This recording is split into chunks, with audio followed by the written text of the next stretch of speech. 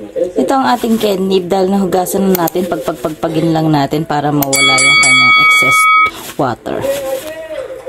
Well guys, tara magawa tayo ng sesame leaf. Ayan. Ang traditional ng mga Korean. Dalagyan lang natin yan ng mga yangnyeom. Meron tayong bawang, sesame seed, at saka ang ating uh, chili flakes. Yan. And then meron tayong toyo.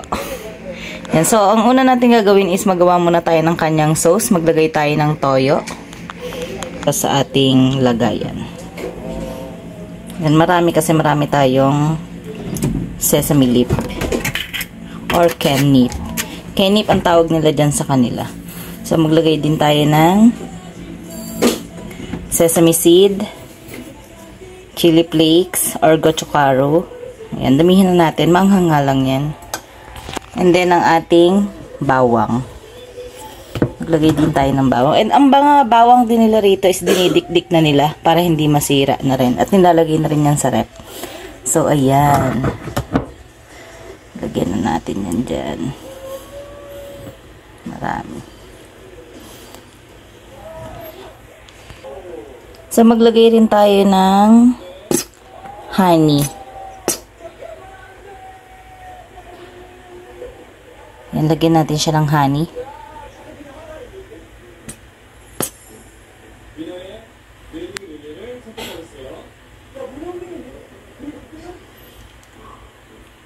Wala kasi tayong plum. So, yan na lang. Honey na lang. Or asukal naman kung wala kayong honey. Look. So, pwede na yan.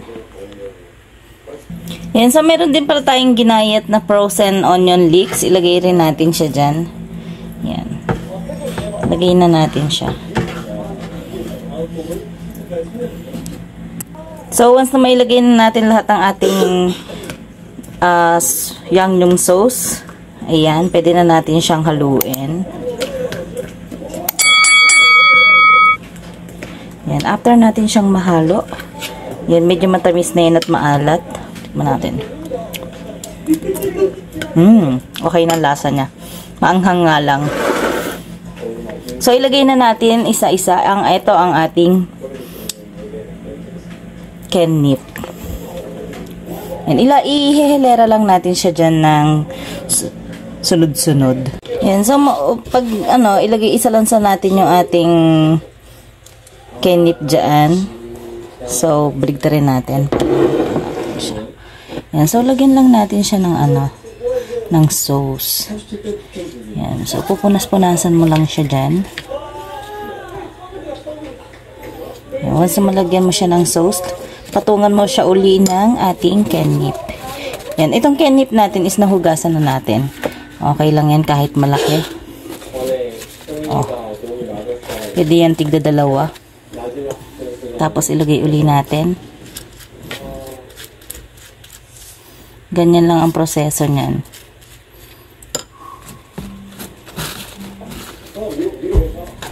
Tapos patungan uli.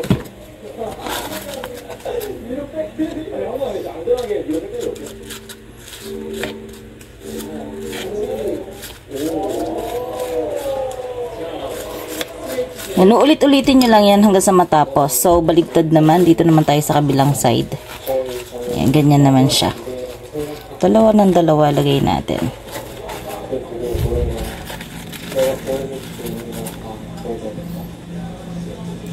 Tapos, lagyan uli ng sauce. Napaka-easy lang gumawa ng kanilang kenip. So, dalawa uli ilagay. Hanggang sa maubos lang natin ang ating ang ating kednip. Lagay lang ng lagay. Ayan, malapit na tayong matapos. Malapit na nating maubos ang ating kenip. And ito po ay sesame leaves. So, siksikin lang natin siya dyan. After nyan, pwede na natin siyang ilagay sa rep. Tapos maghintay lang tayo ng siguro bukas pa pwede na natin siyang kainin at iuulam sa kanin. Ganyan, ganyan lang po silang gumawa ng kanilang side dish or panchan. Yan, so takloban natin and then ilagay natin sa rep. Yan yung mga natitira nating sauce is pwede po nating ibuhos lahat dito. So, ayan guys, ito na po yung ating nagawang kenip or sesame leaf. Napaka-easy gawin lang yan. Uh, basta't meron lang kayong mga toyo at sesame seed. ba? Diba? So, pwede na natin siya ilagay sa rep. Tapos, kainin na natin siya bukas.